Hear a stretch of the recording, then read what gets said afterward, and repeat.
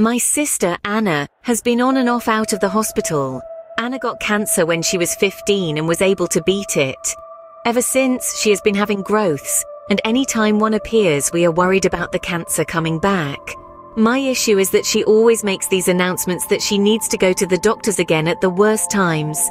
At the beginning, I thought it was just bad timing, but it has happened so many times when I hit a milestone. My graduations, my birthdays, my engagement party. Anytime she makes an announcement, she needs to go back to the hospital. My whole family will flock to her. I have had my birthday dinner turn into my relatives flocking to her for the whole night. I had a dinner party to announce my wedding date for my relatives. It was going so great, and it was a fun time until Anna told Mum she needs to go back to the hospital. Soon, everyone forgot about the reason for the dinner party and it was quiet. My aunt even stepped in to do a prayer for Anna. Another event was taken over. I went low contact with her after that. She was invited to the wedding, and it is in two weeks.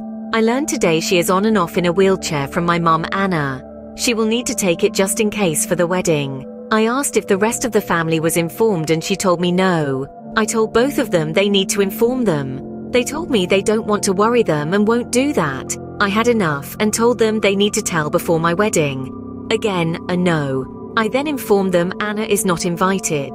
This started a huge argument about how I'm a dick, and my point is that I am sick of her stealing the spotlight that what will happen if she rolls in with a wheelchair. I'm going to do a mass blast to all my relatives, saying she is in a wheelchair and unsure if she will be able to make it to my wedding. Keep my sister in their thoughts and prayers. I'm getting ahead of this.